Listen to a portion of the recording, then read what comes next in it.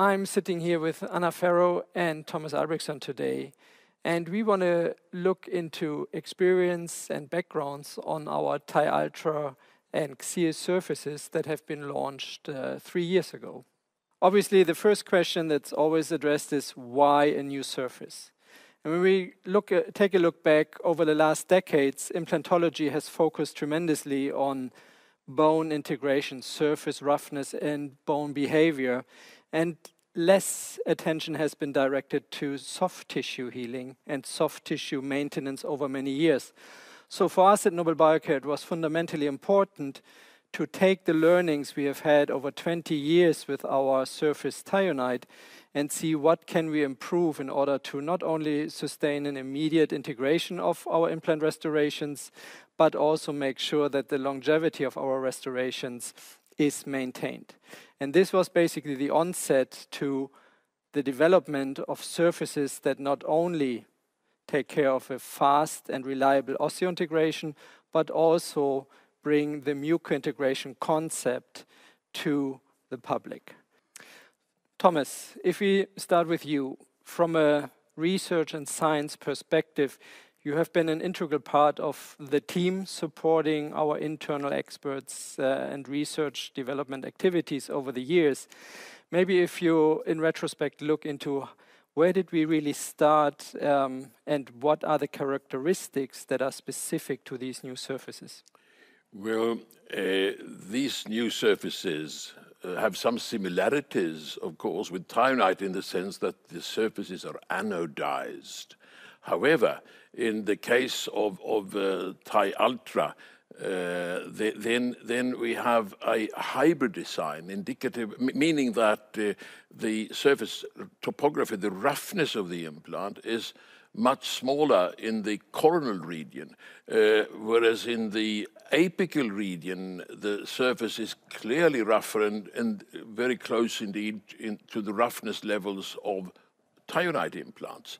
This makes a more forgiving construction for, for, for, for many clinicians who are, who, who, who, who uh, for the real expert, I think that uh, they succeed with most things. But, for, but this is really a, a very interesting approach in, in um, the, the, the, importance of how, how deep you place the implant. That, that, that's less important. You have a hybrid design. Tomas, when we, when we developed the surface, uh, there was a discussion on this hybrid design.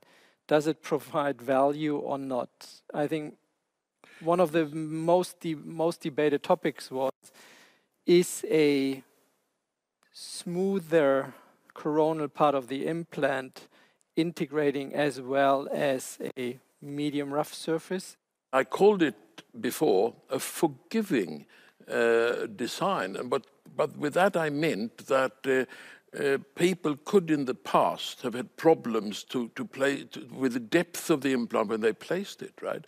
Here, this is a very forgiving construction, uh, and, and the, the, the, the, the, the, minimally rough surface does not irritate the tissues in a manner that potentially a very rough surface could sometimes. So I think, therefore, to, to have a to have this type of uh, dual surface roughness is actually more than dual because it's a continuum uh, towards the apical area is very important. I must say that I also like the golden dew uh, because um, if you have patients with uh, thin biotypes, for instance, uh, where the implants can sometimes shine through the soft tissues, then the golden dew gives it a much more aesthetical appearance in those cases than you have with, with uh, an ordinary grey implant that could then disturb, be disturbing from an aesthetical point of view. Going a little bit further from, from the implant surface now to the abutment surface, Xeal surface, in relation to the soft tissue, what, how do you see the value from a scientific and research perspective? Yes. That's a very interesting approach because on the abutment side, generally speaking, we have been using the same or similar old abutments as, we, as Per-Ingvar Brånemark and our team uh, introduced back in the 1960s. A very smooth surface. This is still smooth, the novel one, but it is also anodized and has some other characteristics, and it has been documented already in a published two-year long study in a split jaw model, where it was demonstrated that there was a significantly high keratinized mucosa around the novel type of abutment. So I think they are also part of uh, uh, what we are seeing here is a very promising new implant, including the abutment. Mm -hmm. Perfect. Ana, coming to you, taking on what, what Tomas just said, when it comes to the integration, let's, let's focus on the short term. The mm -hmm. integration of the bone, the integration of the tissues, what do you see clinically? We just published at the AO basically our pilot study with one year follow-up. Uh, unfortunately, only had 16 patients, but um, but the the results uh, for us were were were incredible because, uh, of course, we we did not have uh, any any failure on the implant side, but more than that, actually, was uh, for us the soft tissues, the hard tissues, and and the sealing that exists because we had the mean bone loss at um, the first year follow up of 0.46 millimeters, and we had no biological complications. Uh, we had mechanical complications in three patients. We had two fractures of the provisional bridges. We had one, one screw of, uh, of a screw, of, an, uh, of um, a prosthetic screw, but biologically we, we, we had no, no complications at all. So it looked like um, at least the feeling, the clinical feeling that we had was that uh, we have a, a, very nice sealing between the, the abutment and, uh, and the soft tissue. So you say you can, the muco-integration concept where you see a different type of behavior, hard to explain, but uh, is that correct? Yes, I see it. Uh, well, my feeling is that uh, actually uh, there is something different. We are we are continuing the the study now. We we already have 23 patients with. Uh, well, this is a little bit off the record because it's not published, but but we already have the 23 patients with the one year follow up, and actually the the mean bone loss now is 0.45, so it's decreasing, which is good um, and still no biological complications. So I, I think uh, it's it, it, plays a role. The difference in this uh, in this um, the the surface of, of the abutment real, really plays a role. And for me, actually, the, the abutments are one of the biggest secrets on the All-on-4 because everything you do goes to abutment level. So uh, this was uh, a huge breakthrough, in my opinion, on abutment level.